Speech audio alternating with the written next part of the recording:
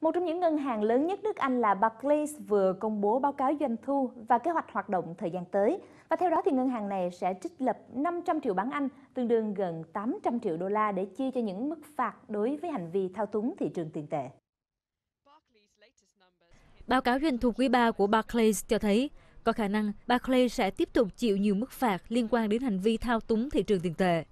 Ngân hàng này đã dành ra 500 triệu bảng Anh dự phòng chi phí pháp lý. Các cơ quan chức năng đang điều tra xem liệu có hay không hành vi các chuyên viên giao dịch đã lập ra chat room để lên kế hoạch thao túng tỷ giá ngoại hối. Những mức phạt có khả năng xảy ra có thể ảnh hưởng đến lợi nhuận của ngân hàng này. Trong quý 3, lợi nhuận trước thuế của Barclays tăng 15% so với năm ngoái. Tin tốt đối với Barclays là ngoài việc chi phí pháp lý tăng trong thời gian tới, các mảng hoạt động của ngân hàng này nhìn chung là rất tích cực, làm hài lòng giới đầu tư. CEO của Barclays, ông Anthony Jerkin, đang nỗ lực cải thiện cán cân thanh toán theo chiều hướng giảm hoạt động của mảng đầu tư, giảm chi phí bằng cách đóng cửa chi nhánh. Tuy nhiên, có khả năng Barclays vẫn rơi vào thiếu vốn nếu như Ngân hàng Trung ương Anh nâng tỷ lệ an toàn vốn của hệ thống ngân hàng.